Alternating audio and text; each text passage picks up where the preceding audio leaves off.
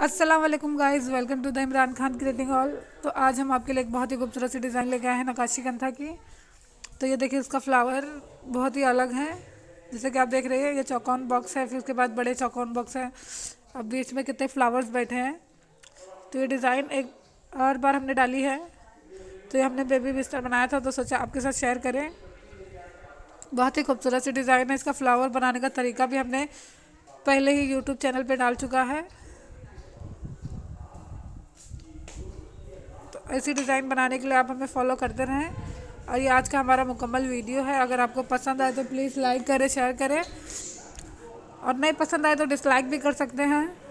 और कमेंट करके बताइए ज़रूर क्या अच्छा लगता है कि आपको नहीं अच्छा लगता है।